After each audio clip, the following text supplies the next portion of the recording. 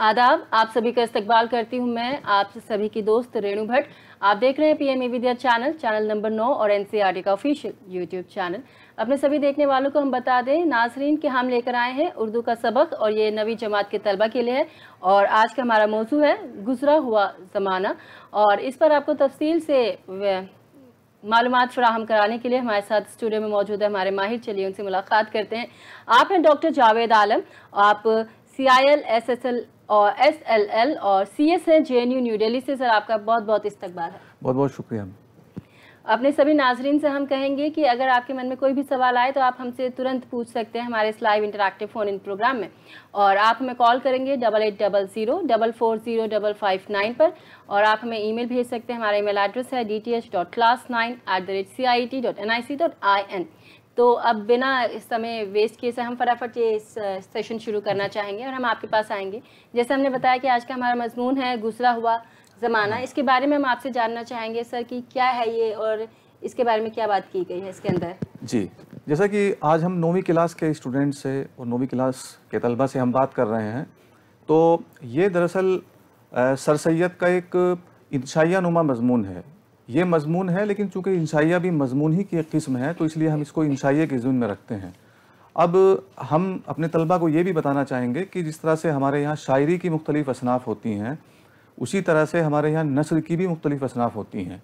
नसरी असनाफ़ में हम उसको दो कैटेगरीज़ में हम तकसीम कर सकते हैं, अफसानवी नसर और गैर अफसानवी नसर। अफसानवी नसर में जैसा कि हम जानते हैं कि दास्तान, नावल, अफसाना वगैरह, ये वो असनाफ़ हैं जिन्हें हम नसरी असनाफ में शुमार करते हैं।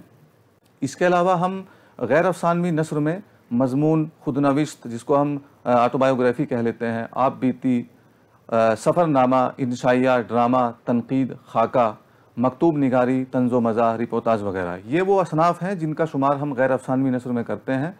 लेकिन क्योंकि आज हम नौवीं क्लास के तलबा से मुखातब हैं, इसलिए हम ये बताना चाहेंगे कि इन तमाम असनाफ़ में, यानी नसर की इन तमाम असनाफ़ में जिनका हमने ज़िक्र किया तमाम असनाफ शामिल नहीं हैं नौवीं क्लास में, बल्कि इनमें से कुछ ही असनाफ शामिल हैं।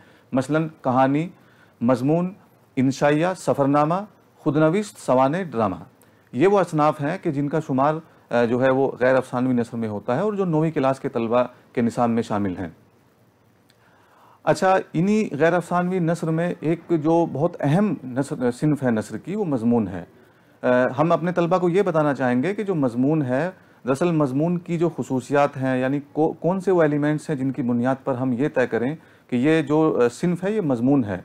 तो मजमून में हम ये बताते हैं अपने बच्चों को कि कोई भी ऐसी तहरीर कि जिसमें इल्मियत हो संजीदगी हो संजीदगी यानी उसमें कोई भी इस तरह के तंजो मज़ा की या इस तरह की जो सगुफ्तगी होती है उसकी गुंजाइश उसमें नहीं होती है। खालिश इल्मी नोयत की जो तहरीर होती है उसको हम मजमून के ज़िम्म में रखते हैं। अच्छा उसमें तरतीब जो हम ख्याल पेश करते हैं और जिस तरह के मसाइल उठाते हैं, उनमें एक तरतीब रब्त का होना बहुत ज़रूरी होता है, संजीदगी और जो हम बात कहते हैं कि उसके लिए मुदल तरीका, यानी कि हम कोई भी बात हवा में नहीं कर सकते, हम जो भी बात कहेंगे, बहुत दलील की बुनियाद पर कहेंगे और ठोस हकाइक पर मबनी वो तमाम चीज़ें होनी चाहिए, तभी हम उस नसर को और उस तहरीर को मजमून के दायरे में रख सकते हैं। अब क्योंकि सर सैद का जो ये जो ये मजमून है, क्योंकि इसको इंशाइए के ज़िम्मे रखते हैं। लिहाजा हम ये चाहते हैं कि इंशाइए के ताल्लुक से भी हम मुख्तसरा अपने तलबा को बता दें कि भाई इंशाइया क्या है। इंशाइया दरअसल मजमून ही की एक किस्म है, लेकिन इसमें कुछ चीज़ें ऐसी हैं कि जो मजमून से अलग करती हैं इंशाइए को। मसलन जैसे हमने जाना कि मजमून में हम इल्मियत का, संजीदगी का, रब्त रवानी का ख्याल रखते हैं, लेकिन इंशाइया में ये तमाम चीज़ें ज़रूरी नहीं हैं, बल्कि इंशाइया की खसूसियात उसकी गैर संजीदगी और उसका, उसकी बेरबती ही है ये तमाम खसूसियात। उसमें शगुफ्तगी होती है और उसमें कोई इल्मी मसला ना होकर के इंसानी ज़िंदगी का कोई वाक़ या कोई भी ऐसी चीज़ जो बहुत बज़ाहिर गैर अहम है, लेकिन इंशाइया निगार अपनी तख्लीकी उपज से और अपनी जो तख्लीकी जहानत होती है, उसकी बुनियाद पर कुछ ऐसे वसाइल से काम लेता है कि वो जो तहरीर होती है, वो पढ़ने वाले को मुसरत और एक अजीब तरह की लुत्फ़ अंदोज़ी का एहसास कराती है। तो उसको हम इंशाइया के ज़िम्मे रखते हैं। जैसा कि हम स्क्रीन पर देख ही रहे हैं कि शगुफ्तगी और ख्याल आफरीनी होती है इसमें। मौजू की इसमें पाबंदी नहीं होती। किसी भी मौजू पर इंशाइया लिखा जा सकता है, किसी शख्सियत पर लिखा जा सकता है, किसी चीज़ पर भी लिखा जा सकता है। तो अब हम अगर इन तमाम एलिमेंट्स की बुनियाद पर इंशाइए की डेफिनेशन मुतन करें इंशाइए की तारीफ़ का हम एक तरह से उस पर बात करें तो हम कह सकते हैं कि इंशाइया दरअसल मजमून की एक किस्म है, जिस तरह से मजमून के लिए हम एसे लाइट एसे या पर्सनल एसे का लफ्ज़ इस्तेमाल करते हैं, इसकी असलाह इस्तेमाल करते हैं, उसी तरह से हम इंशाइया के लिए भी इन्हीं असलाहत का इस्तेमाल करते हैं। इंशाइया दरअसल अदीब की एक जहनी रो होती है, एक शगुफ्तगी और एक जो उसमें इंशाइया निगार का लिखने वाले का जो उसलूब होता है, वो उसका आइनदार होती है ये तहरीर। शुरू में हमारे यहाँ तमसीली इंशाइया लिखे गए, जिसको एलोग्री इंशाइया तहरीरें कहा जाता था। लेकिन बाद में इसके लिए हम सर सैद मौलाना हुसैन आज़ाद की जो नरंग ख्याल है, वो जो है वो तमसीली इंशाइयों की एक बहुत उम्दा मिसाल है। इसके अलावा बाद के अदवार में अगर हम देखें तो सर सैद अल्ताफ़ हुसैन हाली, शिबली न्याज फ़तेहपुरी सैद आबिद हुसैन, ये वो लोग थे कि जिनकी तहरीरें जो है वो इंशाइए के ज़िम्न में आती हैं। हालाँकि उन का शुमार जो है वो अपने दौर के अहम जो है मजमून निगारों में होता है, लेकिन ये ज़ाहिर है कि इनकी बाज़ तहरीर ऐसी हैं जो इंशाइया की कसौटी पर पूरी उतरती हैं। अगर हम आगे के दौर का जायज़ा लें तो उसमें हम्म। कन्हैया लाल कपूर मुश्ताक यूसुफ़ी यूसुफ नाजिम वज़ीर आगा और हमारे अहद के बहुत मशहूर इंशाइया नगर मुशतबा हुसैन वगैरह हमारे ज़माने के बहुत मुमताज़ और बहुत प्रोमिनेंट इंशाइया निगार गुजरे हैं जिनको हम आज भी बहुत दिलचस्पी से पढ़ते हैं।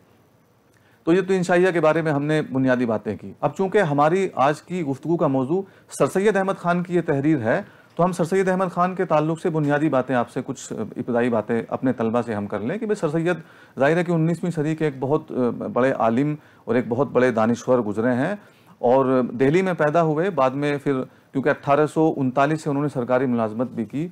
लेकिन सर सैद जब गाज़ीपुर में थे, जब सर सैद गाज़ीपुर में थे, यानी अट्ठारह में तो उन्होंने वहाँ पर अपनी कौम के अंदर और लोगों के अंदर साइंटिफिक रुझानात को फ़रोग देने के लिए साइंटिफिक सोसाइटी का क़याम वहाँ पे किया था। और उसके बाद फिर वो अट्ठारह में इंग्लिस्तान गए और इंग्लिस्तान से वापसी के बाद वहाँ से जो असर वो लेकर के आए, उस असर का नतीजा था कि रिसाला तहजीबुल अखलाक जैसे अहम रिसाले की उन्होंने यहाँ पे जो है वो उसकी इशात की, जिसमें समाजी, सियासी और हर तरह के मजामी उसमें शामिल होते थे।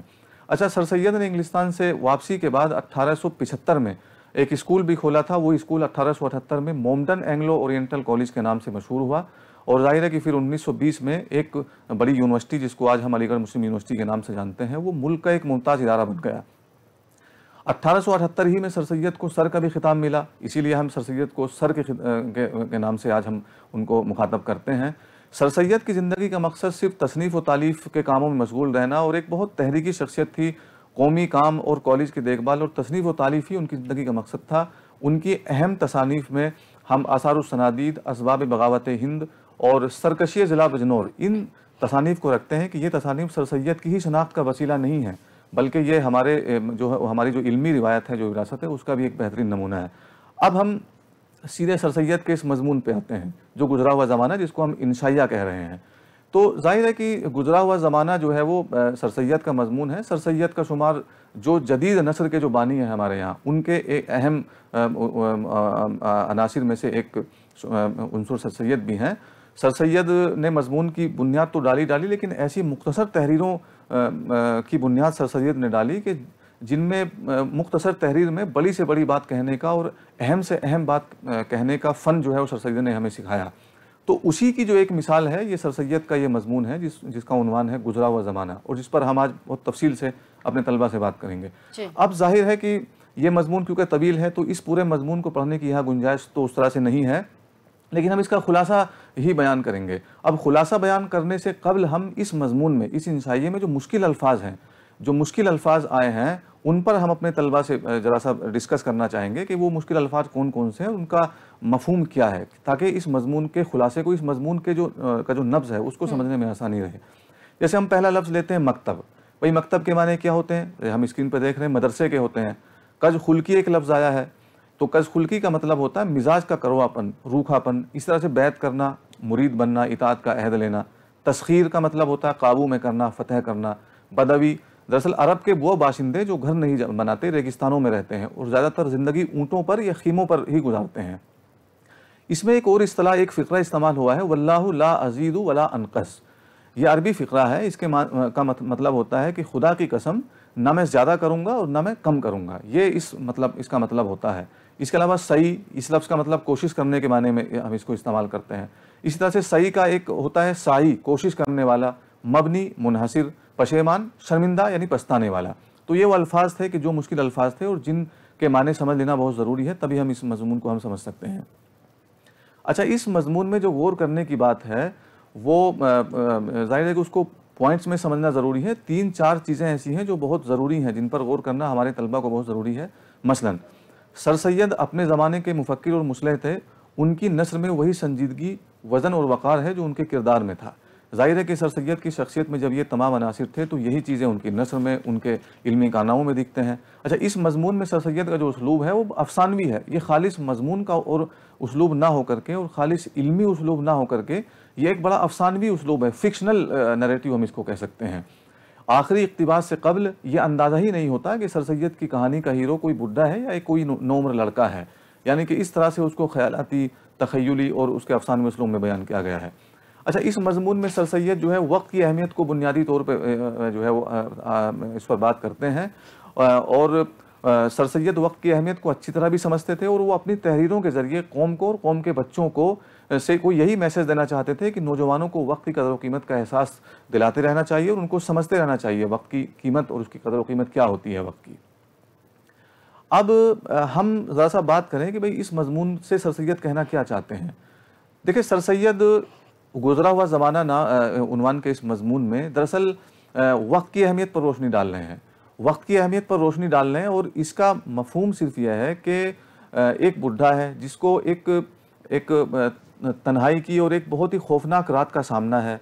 बिजली कड़क रही है और एक अजीब सी कैफियत है और इस कैफियत को वो बयान करता है तीन पॉइंट्स में तीन स्टेजेस में। पहला स्टेज वो याद करता है अपनी बचपन के ज़माने को जब वो लड़कपन के, के, के उम्र में था कि भाई कोई भी उसको समझाता था तो वो उसको कोई फ़र्क नहीं पड़ता था और वो बिल्कुल बेफिक्री के दौर में था तो उसने कभी समझा ही नहीं कि मेरी मेरा मुस्तकबिल क्या होगा। तीसरा दौर वो है जब वो जवानी की दो, के दो की दहलीज पे कदम रखता है और जवानी की दहलीज में कदम रखने के बाद फिर उस पर एक अजीब सी कैफियत बेफिक्री की तारी होती है और उसको उसके वालदेन उसके आशना उसके दोस्त अहबाब जब उसको समझाते हैं तो उस पर उससे कोई फ़र्क नहीं पड़ता बल्कि वो हमेशा ये कहता है कि अभी बहुत वक्त है। हालाँकि इस उम्र में वो बहुत तंदुरुस्त था बहुत खूबसूरत था उसके लिए सर सैद ने जो है वो अल्फाज इस्तेमाल किए ही हैं कि वो अपनी उम्र के बिल्कुल बहुत अहम स्टेज पे था, लेकिन उसको, उससे कोई फ़र्क नहीं पड़ा और उसने उस वक्त को भी यूँ ही ज़ाय कर दिया। एक ये वक्त है कि जिस वक्त में वो बरस की आखिर रात में बिल्कुल तनहा है और बहुत ही खौफनाक और बहुत वहशतनाक रात का उसको सामना है तो अब लड़कपन की और जवानी की, के उस, के उन दिनों को, उन अयाम को रोकर और उनको वो याद करता है और सिवाय पछताता है। अच्छा इसमें ये तो ये है। इसमें सर सैद उस बुढ़े के हवाले से जो बात करते हैं वो एक बहुत अहम नुक्ते की तरफ़ इशारा कर रहे हैं। वो अहम नुक्ता यह है कि जैसे ही वो बुढ़ा बरस की आखिर रात के उस मन, उस मंज़र से गुजर रहा है तो अचानक वो खिड़की के बाहर देखता है और खिड़की के बाहर जब वो देखता है तो रात साफ़ हो चुकी है और बारिश भी रुक चुकी है और वो वो वो मंज़र नहीं है जो मंज़र कुछ देर पहले था। तो वो देखता है कि सब कुछ साफ़ है तो वो आसमान की तरफ़ देखता है। आसमान में उसको एक आसमान में एक खूबसूरत सी चीज़ दिखती है। दुल्हन नुमा बड़ी सजी हुई और बड़ी संवरी हुई। जब वो गौर से देखता है तो एक खूबसूरत दुल्हन है। अच्छा खूबसूरत दुल्हन इससे सर सैद की क्या मुराद है? सर सैद की खूबसूरत दुल्हन से मुराद यह है कि भाई एक दुल्हन है जो उससे ये कह रही है कि तुमने लड़कपन में और तुमने, जब तुम बच्चे थे तो तुमने बेफिक्री की ज़िंदगी गुजारी। फिर जब तुम जवान हुए तो तुमने जो है वो अपने माँ बाप का कहा बिल्कुल नहीं माना, अपने दोस्तों की बातों को भी तुमने बस ऐसे ही अनसुना कर दिया। और अब ये वक्त है कि तुम पछता रहे हो। तुमने जो भी काम किए वो सिर्फ़ अपने ज़ाती मफाद के लिए किए। लेकिन कौम की भलाई का और मुल्क की भलाई का या समाज की भलाई का कोई ऐसा काम नहीं किया कि जो तुम्हारे लिए जो है वो कार खैर बनता और जो तुम्हारे मुस्तबिल में काम आता। तो इसी असना में अचानक से वो दुल्हन गायब हो जाती है और वो चीख उठता है वो बुढ़ा। और वो चीख उठता है तो अचानक क्या देखता है कि उसकी माँ उसके बगल में खड़ी हुई है उसको समझा रही है कि तुमने जब हम कहते थे कि तुम ऐसा मत करो और तुमको हम समझाते थे तो तुमको उस पर कोई फ़र्क नहीं पड़ता था। और आज जब वक्त गुजर गया है तो तुम पछता रहे हो लेकिन इस पछताए से क्या होता है? तो नींद से वो वो बुढ़ा बेदार होता है तो उसको एहसास होता है कि वो तो एक नौजवान लड़का है और उसने ये तमाम चीज़ें ख्वाब में देखी थी। और उस, उसने ये चीज़ें ख्वाब में देखी तो ये जो ख्वाब है ये एक तरह का सिंबल है एक इस्तारा है। और इस ख्वाब को इस्तारा बनाकर दरअसल सर सैद ने वक्त की अहमियत पर रोशनी डाली है कि अगर लोग वक्त की अहमियत को वक्त रहते समझ लें तो उनको पछताना ना पड़े। जिस तरह से ये बुढ़ा पछताता है इस तरह से पछताना ना पड़े। और इसी तरह से फिर वो लड़का जो होता है वो एक उछल मतलब बिल्कुल एक बहुत नए जोश के साथ नए बलबले के साथ उठता है और वो आइंदा उन तमाम बातों को दोहराने का दोहरा दो, ना दोहराने का अहद लेता है कि जिनको उसने ख्वाब में उस बुढ़े के हवाले से देखा था। तो ज़ाहिर है कि सर सैद इस मजमून के हवाले से, इस इंशाइये के हवाले से यही मैसेज देना चाहते हैं कि कौम के नौजवानों और मुल्क का मुस्तबिल जिन बच्चों पर है, उन बच्चों को इस बुढ़े की कहानी से और इस बुढ़े की जो कैफियत थी उससे सबक हासिल करना चाहिए और अपने वक्त की कदर कीमत का एहसास उन्हें वक्त रहने करना चाहिए। यही इस मजमून का, इस इंशाइया नुमा मजमून का यही मकसद है। जी। जी। तो सर इसके अलावा कुछ और आपके पास बच्चों के लिए कोई मश्क है कुछ एक्टिविटीज़ हैं जो आप उन्हें बताना चाहें? जी जी। देखिए इसमें जो मश्क है वो ये है कि हम इस मजमून को पढ़ के जो कि इंशाइया है इसको पढ़ कर के हम इंशाइया और मजमून देखिए मजमून और इंशाइया इस तरह से मरबूत हैं एक दूसरे से कि इनको अलग करना कभी कभी बड़ा मुश्किल होता है। लेकिन चूँकि हमने बताया कि मजमून की खसूसियत, उसकी इलमियत, संजीदगी, रब्त रवानी होती है, जबकि इंशाइये में ये तमाम चीज़ें नहीं होती हैं। इंशाइये में हम एक तरह की बेरब्ती, एक तरह की शगुफ्तगी और हमारा जो सरोकार होता है वो उसलूब से होता है। उसलूब से होता है कि हम किसी वाक़े को या किसी भी शख्सियत से मुतल जो बात कहते हैं कि उसमें हम इस चीज़ का ख्याल रखते हैं कि उससे जो है वो एक तरह की शगुफ्तगी और मुसरत का एहसास हो। तो हम तलबा से ये करा सकते हैं कि इंशाइये और मजमून के बारे में उनसे गुफ्तु कर सकते हैं। दूसरा हम काम ये करा सकते हैं तलबा से कि वक्त की अहमियत पर मुबासा करा सकते हैं। जिस तरह से सर सैद ने इस मजमून में इस इंशाइये में वक्त की अहमियत पर रोशनी डाली है तो हम इस मजमून को समझा के तलबा से वक्त की अहमियत पर रोशनी डलवा सकते हैं। अच्छा दूसरी सरगर्मी क्या हो सकती है? वक्त पर काम करने के फ़ायदे और न करने के नुकसान पर बहस करा सकते हैं। हम्म। इसी तरह से हम मुसन्फ़ के बारे में गुफ्तु कर सकते हैं। सर सैद के बारे में जो इस मजमून के ज़ाहिर मुसन्फ़ हैं उनके बारे में गुफ्तु कर सकते हैं। और दूसरी इसके आगे की बात यह है कि सर सैद के ज़माने बिलखसूस अट्ठारह के बाद के इलमी व अदबी और सियासी और समाजी हालात पर हम रोशनी डाल सकते हैं और तलबा से इन हालात पर सर हासिल गुफ्तु हम करा सकते हैं और एक मुबासे के ज़रिए हम ऐसा कर सकते हैं। दूसरा यह है कि तलबा से सर सैद के हालात ज़िंदगी पर हम एक बहस करा सकते हैं। इसके अलावा तलबा से सर सैद के इल्मी अदबी और समाजी कारनामों पर हम एक, एक बहुत तफसीली मुजाकरा करा सकते हैं। अच्छा बेदारी की हालत में और ख्वाब की हालत में मुशाह की हुई चीज़ों के ताल्लुक से हम तलबा को एक बहस में इनरोल कर सकते हैं। इसके अलावा सबक का खुलासा तलबा से उनके अपने अल्फाज में लिखने के लिए हम कह सकते हैं। इसके अलावा जवानी, अधेड़ और बुढ़ापे में बयान की गई कैफियत, जो कि इसमें बयान की गई हैं, इन कैफियत पर हम तलबा से मुबासा करा सकते हैं, उनसे बहस करा सकते हैं।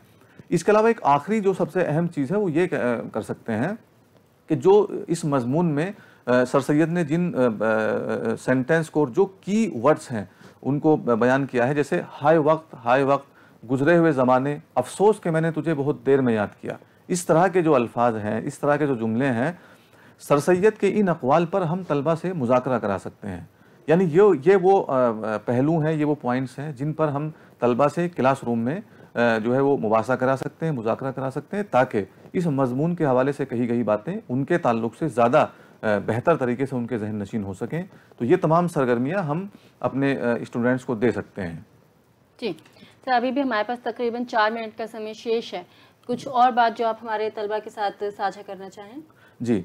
हम आज अपनी नवी क्लास के तलबा से हम यही कहना चाहेंगे कि सर सैद अपने इस मजमून के हवाले से सर सैद अपने इस इंसाइये के हवाले से वक्त की अहमियत पर जिस तरह से जिस अफसानवी अंदाज में और जिस तखयली अंदाज में रोशनी डालते हैं उसका मैसेज और उसका मकसद सिर्फ़ कौम के नौजवानों को और मुल्क के नौजवानों को खिताब करना है। उनको ये समझाना है कि देखो, वक्त रहते, आप जो है वो अपने वक्त की कदर करें, अपने वक्त को तामीरी कामों में और किसी ऐसे काम में जो हमेशा रहने वाली रहने वाली रहने वाले चीज़ें बने, उनमें सर्व करें और किसी ऐसी लायानी चीज़ों में अपने वक्त को ज़ाय ना करें कि बाद में पछताना पड़े और उस बुढ़े की तरह पछताना पड़े जिस तरह से वो अंधेरी रात में उस वहशतनाक मंजर में वो पछताता है, और वो जो हमेशा रहने वाली नेकी है सरसैद के नज़दीक वो नेकी यह है कि अपनी कौम की भलाई के लिए, अपने मुल्क के लिए और अपने समाज के लिए कुछ ऐसे काम किए जाएँ कि जो हमारे मरने के बाद भी